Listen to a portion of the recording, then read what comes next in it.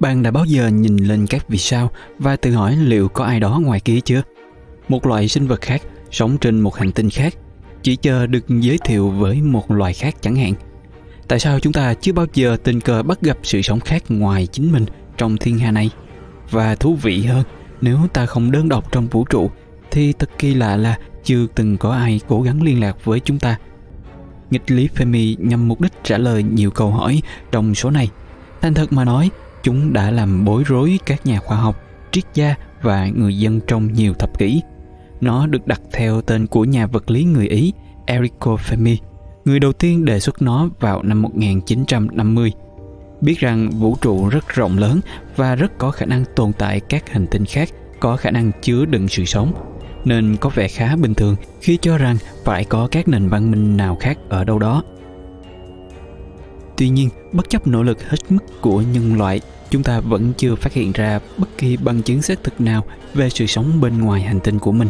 Tất nhiên, ngoài những người mà ta đã chủ động gửi ra ngoài vũ trụ, việc thiếu bằng chứng này đã khiến mọi người tự hỏi liệu chúng ta có thực sự đơn độc trong vũ trụ hay không? Hơn nữa, nếu có một lý do nham hiểm hơn giải thích tại sao chúng ta vẫn chưa tìm thấy bất kỳ người ngoài hành tinh nào. Một giả thuyết có thể được đề xuất là đơn giản là chúng ta đã không tìm đủ lâu hoặc đủ chăm chỉ. Vũ trụ vô cùng rộng lớn và các nền văn minh khác có thể tồn tại trên các hành tinh ở quá xa để ta có thể phát hiện ra. Công nghệ mà chúng ta cần để xác định những nền văn minh này có lẽ còn chưa được phát minh hoặc thậm chí nếu có, nó chắc chắn không đủ mạnh để vươn tới không gian cách nhiều năm ánh sáng. Có lẽ nào ta là sự sống thông minh duy nhất trong vũ trụ? Giả thuyết này cho rằng các điều kiện cần thiết để sự sống tiến hóa và phát triển là rất hiếm. Ví dụ như trong trường hợp của chúng ta, thực tế là trái đất của chúng ta có nước, bầu khí quyển ổn định, tư trương và khí hậu khá hợp lý. Một số nhà khoa học không thể không nghĩ rằng hành tinh của chúng ta là hành tinh duy nhất trong vũ trụ tạo ra được những điều kiện này và do đó cũng có những sinh vật thông minh lang thang trên bề mặt của nó. Tuy nhiên, giả thuyết này không giải thích được đầy đủ nghịch lý vì nó không chỉ ra được thực tế là vũ trụ quá rộng lớn và đã tồn tại quá lâu, lâu hơn chúng ta rất nhiều. Tuổi của vũ trụ được ước tính vào khoảng 13,8 tỷ năm tuổi, trong khi hành tinh của chúng ta chỉ khoảng 4,5 tỷ năm tuổi. Cách nhau có một xíu ấy mà. Một gợi ý hợp lý hơn là có những nền văn minh thông minh khác ngoài kia, nhưng đơn giản là chúng ở quá xa để chúng ta có thể phát hiện ra. Thuyết này gợi ra rằng những nền văn minh này có thể nằm trên các hành tinh cách xa ta hơn nhiều so với những gì ta có thể phát hiện lúc này, hoặc chúng có thể nằm hoàn toàn ở các thiên hà khác nhau. Xin lỗi vì phải thông báo với bạn điều này, nhưng vũ trụ cũng đang mở rộng điều đó có nghĩa là mọi thứ không ở yên vị trí ngay cả khi ta có khả năng kỹ thuật để bắt đầu du hành giữa các hành tinh và thiên hà chúng có thể đơn giản là đang di chuyển ra xa với tốc độ mà chúng ta không bao giờ có thể bắt kịp. Cũng giống như những cái trước, giả thuyết này cũng có một số sai sót. Đó là bởi vì nó không giải thích đầy đủ lý do tại sao ta chưa phát hiện ra bất kỳ bằng chứng nào về những nền văn minh này. Nếu chúng ở xa, con người chắc chắn không thể phát hiện ra chúng. Nhưng tại sao họ không cố gắng liên lạc với loài người? Thật khó để tưởng tượng rằng ngay lúc này các nền văn minh đang ngồi chơi xơi nước khác trong vũ trụ kém phát triển hơn chúng ta. Nhìn lại trên quy mô hành tinh, loài người thực sự non trẻ. Nếu tưởng tượng rằng hành tinh của chúng ta chỉ mới một tuổi, thì có người mới chỉ xuất hiện trên bề mặt của nó trong 20 phút cuối cùng vào ngày 31 tháng 12 so với toàn bộ sự tồn tại của toàn vũ trụ, ta chỉ là một cái đốm thôi. Giả thuyết cuối cùng là có những nền văn minh thông minh khác ngoài kia nhưng đơn giản là họ quá tiên tiến về mặt công nghệ để ta có thể phát hiện ra. Ý tưởng này chỉ ra rằng những sinh vật này đi trước chúng ta hàng năm ánh sáng về khoa học và sự phát triển. Họ có thể đã có những công nghệ vượt xa khả năng của chúng ta và họ được cho là đang sử dụng những công nghệ này để ẩn mình. Đáng buồn thay, giả thuyết này có phần hợp lý hơn. Mặc dù điều đó có nghĩa là không có nền văn minh nào khác muốn làm bạn với chúng ta và ra ngoài vũ trụ chơi.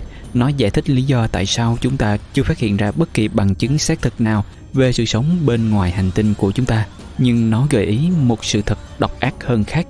Nó đặt ra câu hỏi tại sao những nền văn minh này lại chọn ẩn mình và động cơ của họ có thể là gì?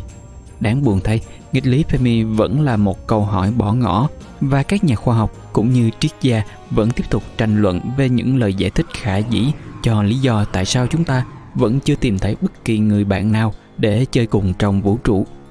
Chỉ có thời gian mới có thể trả lời liệu chúng ta có thể giải quyết bí ẩn này hay không. Vẫn còn rất nhiều điều chúng ta phải hoàn thành khi khám phá không gian. Trong tương lai, du hành vũ trụ sẽ tiếp tục được thực hiện chủ yếu bởi các sứ mệnh robot khoa học và thương mại. Tuy nhiên, ý tưởng về việc có người thường du hành vào vũ trụ có thể sẽ vẫn là một giấc mơ trong thời gian dài nữa.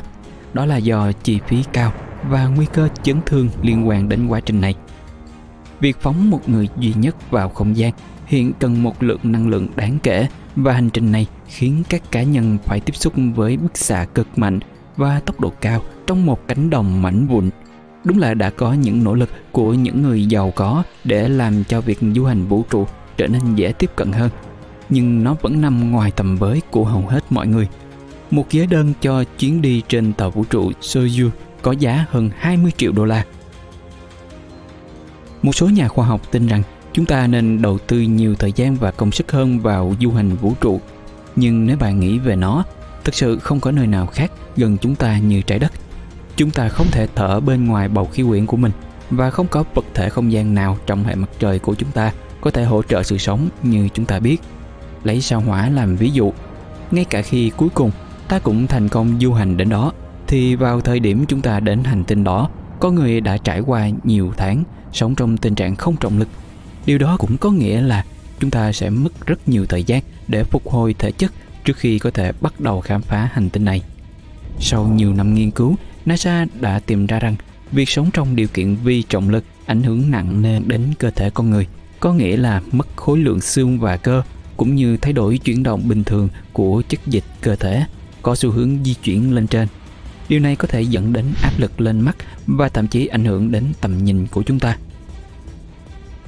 Chỉ vì chúng ta không thể xác nhận có sự sống bên ngoài hành tinh của chúng ta, không có nghĩa là chúng ta không có một số bằng chứng trong suốt nhiều năm.